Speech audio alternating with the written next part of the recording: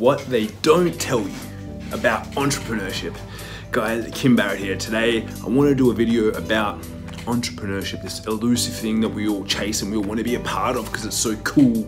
Um, and one of the biggest things, right? And there's so much that they don't tell you about entrepreneurship when you go out, when you get started, and there's so many things that you very quickly realize when you're out there that aren't exactly what they seem. Everyone's happy to show you the awards, the cool stuff, the travel, the flights, the private jets, the Lambos, all that sort of cool stuff. But they don't show you all of the hard things that go on behind the scenes. Now, the biggest thing that they don't tell you is literally how hard it's going to be. Because every course is going to tell you that it's simple, make money online, do this, start a business, do that, hire staff. And in reality, it is hard work right? What they don't tell you is that it is not sexy. It's not all those Lambos and private jets and all that sort of cool stuff. Don't get me wrong, like I would, I'd love to fly around in a private jet all the time. It'd make it way easier for me. I'm a pretty tall dude. My knees get stuck behind behind seats, right? And I also like I get to drive a, a nice car. It's not a Ferrari, but I get to drive one. But that is not the like the important part about it because unless you are willing to do the hard work, you know, there's no like there's no qualms, there's no problems with working as part of a team, as working in someone else's organization, being an entrepreneur, because it is bloody tough. Like there are late nights, right? There's stress, there's losing your hair, receding hairlines, right? Check that bad boy. It's all kicking back, guys. I need some Propecia or something, I don't know, right? But all these things happen and there's stress and it can be hard. Like yesterday um, as an example like this still happens you know we've we would be potentially perceived as a business that is successful you know but we have um, the days where it gets hard. So yesterday it's like I had to have some tough conversations with clients. I then had to um, I did podcasts and got to be chipper and chirper for those same with sales calls. I was in the office at about 6.45 yesterday and then I left last night at 7.30 p.m. Um, there was no outside meetings yesterday. It was just hustle and grind, hustle and grind. It was it was a hard day. And this morning, back up at it. Was at the gym at 5:30. Was um, had a breakfast meeting with the team, and then we're out and we'll, we're back in it again, and we'll be here till um, late this evening. And we're always on call, right? There's like things happen, people blow up my messenger inbox, people send me SMSs, people DM me on Instagram. You know, there's so many ways for people to communicate with you now that they will, right? They're gonna hustle you down and find you. So it, it's not all glamour, it's not all glitz, it's not all it's not all what it looks like on, on social media, right? There's plenty of tough things that happen.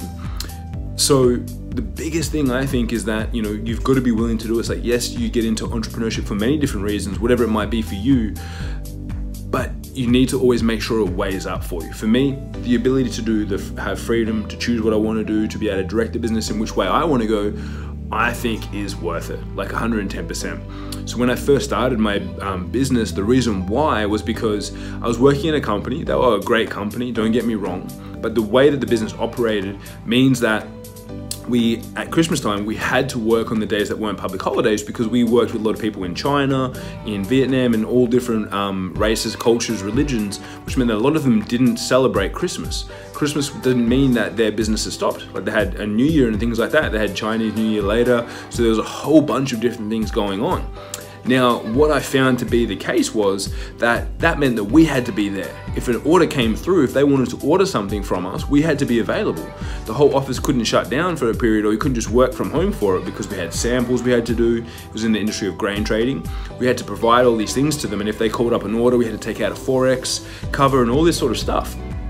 So we had to be able to be there for that. So unless it was a public holiday, we literally had to be in the office.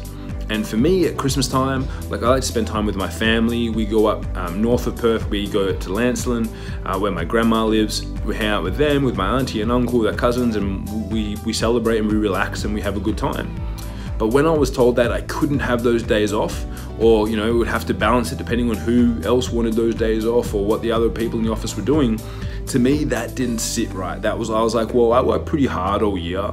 I work well and this time of year i want to have the time to go and spend with my family and i can't because someone else is dictating that for me now again i said that was great people was a great company to work for but it wasn't what i wanted i wanted to be able to go great if i need to go and do something if i want to go and do something i should be able to i should be able to take that so i'm willing to take the heat, the long days, the stress, the hard conversations with the clients, hard conversation with staff, hard conversation with suppliers.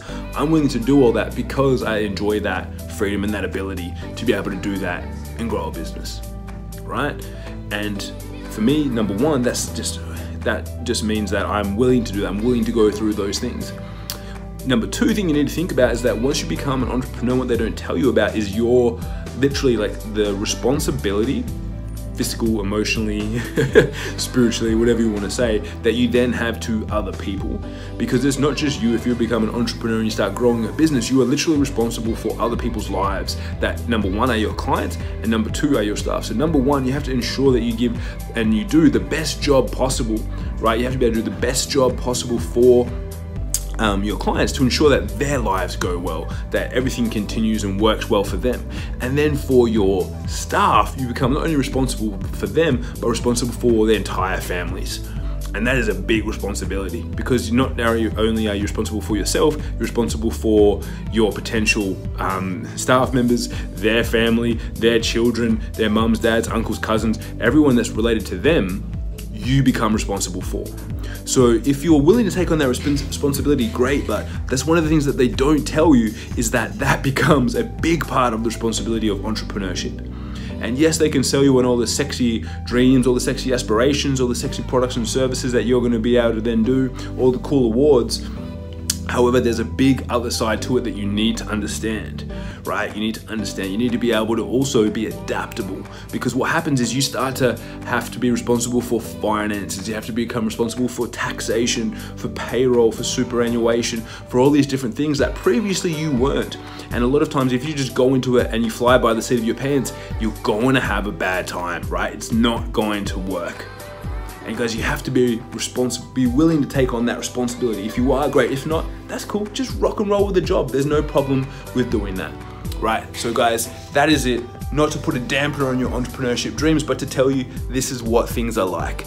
So I wish you all the best, and if you're rocking it and you're enjoying our channel, please make sure you give us a like, you drop a little comment and let me know what you thought of the video, and as always, subscribe so you can see it first before anyone else. Hope that you guys have an amazing rest of your day. As always, I'm Kim Barrett. You've been awesome. I will chat to you all very soon. Adios.